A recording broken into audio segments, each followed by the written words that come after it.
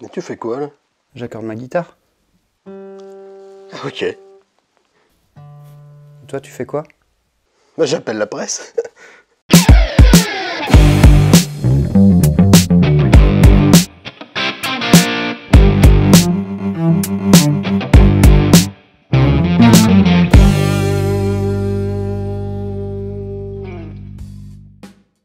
C'est injuste cette légende des guitaristes qui sont toujours faux, franchement. On passe notre temps à se réaccorder.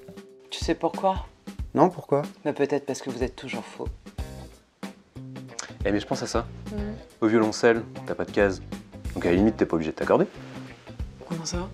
Bah, si ta corde est un peu fausse, tu as juste à mettre ton doigt un petit peu plus en haut, un petit peu plus en bas pour équilibrer, non?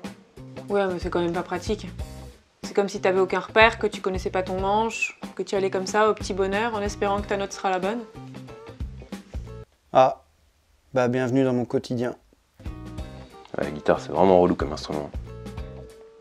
Vous êtes toujours en train de vous accorder en fait. Bah et toi, avec ta basse, tu t'accordes jamais peut-être? Bah non Pourquoi? Ah, Parce que moi je suis malin. Quand j'ai acheté ma basse, j'en ai pris une qui était déjà accordée. Ah, j'arrive pas à le régler.